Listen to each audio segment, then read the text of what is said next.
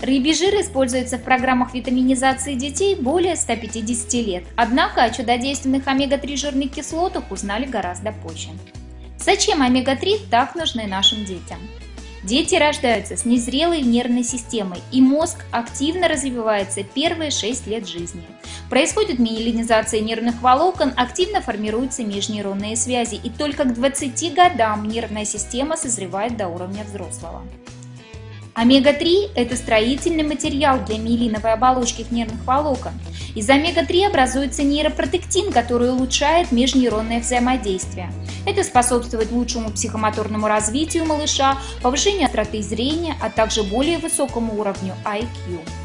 Исследование, проведенное НИИ питания, доказало, что дети 5 лет, принимавшие рыбий жир с омега-3, значительно больше просматривали знаков в психологических тестах, а также на 68% меньше делали ошибок.